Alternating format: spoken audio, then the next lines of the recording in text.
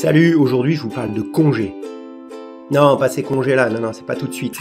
Je vous parle de ces congés-là, les biseaux, les chanfreins, enfin tout ce qui va consister à arrondir les angles, parce que comme vous le savez dans SketchUp, eh ben, c'est toujours des angles à 90, très carrés, enfin avec des, des, des arêtes saillantes. Donc on va essayer de se débarrasser de ça et de faire des choses plus lisses, plus arrondies. En utilisant deux extensions qui malheureusement sont payantes, euh, je vais vous montrer comment elles fonctionnent. Il y a des petites versions démo pour que vous puissiez les tester et décider si elles vous intéressent ou pas. Et puis il y a aussi une façon de faire qui est euh, manuelle dans SketchUp, mais qui aura quelques limites. On ne pourra pas en faire autant qu'avec les extensions. N'empêche que je vous montre tout ça tout de suite sur mon écran. Donc avant d'arrondir les angles de ce plan de travail qui, vous voyez, sont tout à fait euh, 90 et là, je vous invite à pas vous cogner là-dessus parce que ça doit faire super mal. Donc pour apporter un peu de réalisme à certains meubles, à, euh, certaines surfaces, surtout aux angles, du coup, on va essayer d'arrondir un peu tout ça. Et j'ai sélectionné donc deux euh, extensions. La première s'appelle Bevel, vous pouvez la trouver sur Extension, Warehouse ici. Et l'autre c'est Round Corner, développé par le célèbre euh, Fredo 6, euh, qui, développe plein plein de plugins super intéressants. Donc je vais commencer par peut-être la moins connue, la plus récente, c'est Bevel. Donc Bevel, en fait, ça va faire donc des, congés, des chanfreins. Je vais montrer ça sur une boîte comme ça. Donc je sélectionne des angles, par exemple, je prends ces deux là ou ces trois là, ou j'en prends qu'un pour commencer. Et je vais cliquer sur ce petit picto, hop, et je vais survoler la droite et je vais cliquer et glisser. Et on voit que là, il me propose un arrondi en deux, en deux pans. Donc quand je lâche, ça fait ça, on voit bien qu'il y a deux pans. Mais oh, je reviens en arrière, CTRL Z, vous voyez que quand je fais ça, on regarde ce qui se passe en bas ici.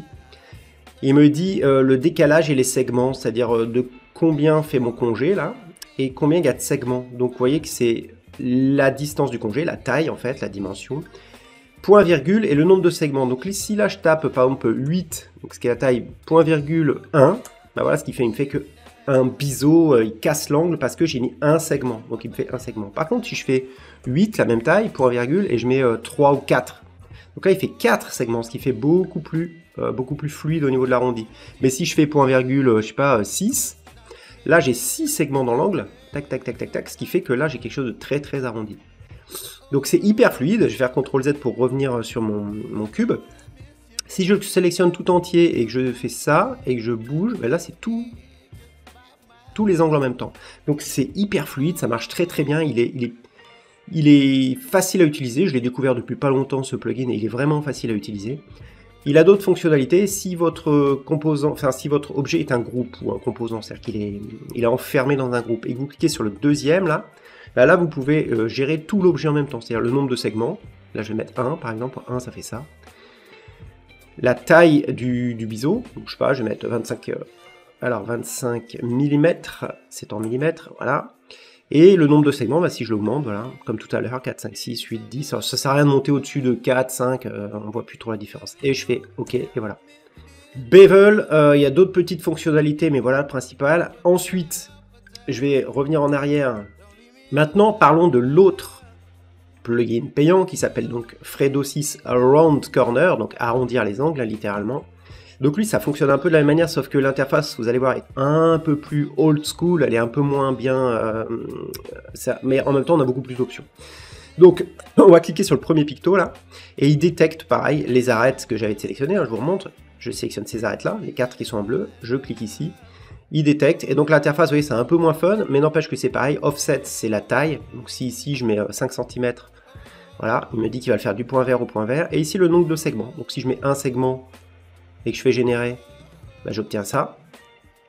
Je reviens en arrière, hop, si je fais, euh, je sais pas, euh, 3 ou 5 segments, alors on va mettre 5, et que je fais générer la géométrie, voilà, j'ai 5 segments.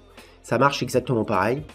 Euh, les résultats seront aussi qualitatifs avec l'un qu'avec l'autre. Vous voyez, je peux prendre ces trois angles-là et puis dire, tiens, hop, j'essaye, poum. Ça marche super bien.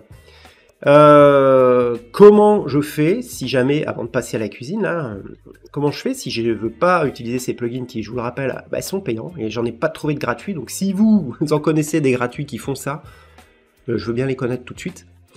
Il y en a un autre qui s'appelle Artisan et qui, a une fonctionnalité similaire, mais il est un peu plus complexe encore. Euh, je vais essayer donc d'arrondir ça de manière, on va dire, euh, naturelle. Donc là, on peut essayer, c'est de tracer un arc de cercle ici, de la taille souhaitez. Je fais comme ça. Et après, je prends l'outil Suivez-moi. Donc, vous voyez, j'ai sélectionné le contour. Je fais cliquer une fois sur l'outil Suivez-moi qui se trouve ici. Et je vais sélectionner le petit arrondi que j'ai créé. Et hop, il me fait ça. Alors là, vous dites, ouais, mais il y a les traits, c'est pas beau, machin. Donc là, c'est pas grave. On prend la gomme, on appuie sur euh, Shift majuscule, et en même temps, on passe dessus. Alors là, quand on fait ça, on n'efface pas vraiment les traits, simplement on les masque. Donc ce qui permet d'avoir le même rendu que tout à l'heure. Ah mince. Par contre, ça, c'est super pour une surface plate comme ça, ou un angle, ou deux.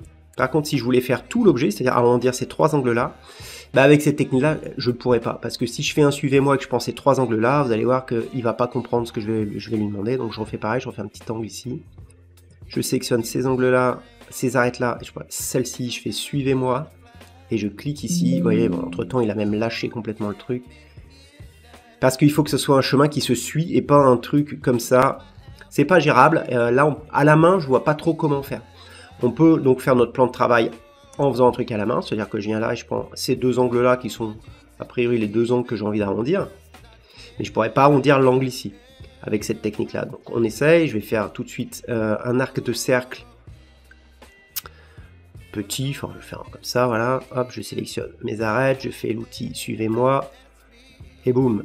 Et là il a même pas voulu me faire de l'autre côté, donc je recommence, hop, suivez-moi,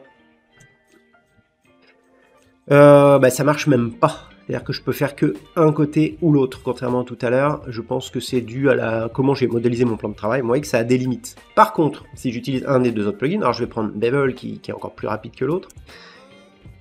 Eh ben, je fais ça. Euh, je vais même prendre celui-là en plus. Et je vais arrondir un peu tout. Et je fais un tout petit arrondi comme ça.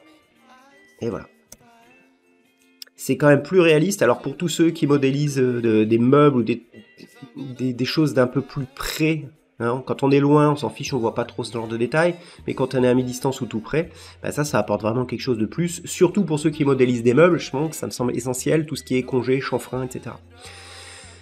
Voilà, c'est tout, vidéo très courte, j'espère qu'elle vous a plu. Si elle vous a appris quelque chose, bah, comme d'habitude, mettez un petit pouce vers le haut, euh, partagez la vidéo, commentez-la, euh, dites-moi si vous connaissez d'autres techniques, je serais très curieux de les connaître, très intéressé. Et puis je vous dis à très bientôt dans une prochaine vidéo. Ciao